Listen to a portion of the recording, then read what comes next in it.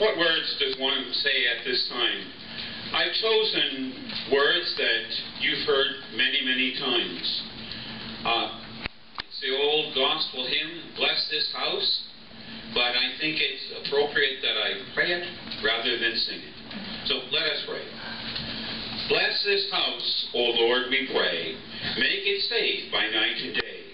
Bless these walls so firm and stout, keeping want and trouble out. Bless the roof and chimneys tall.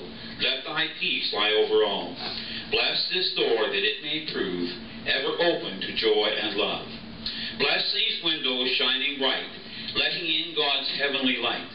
Bless the hearth a blazing there, with smoke ascending like a prayer. Bless the people here within, keep them pure and free from sin. Bless us all that we may be fit, O Lord, to dwell with thee. God, we give you thanks for this place and for this time.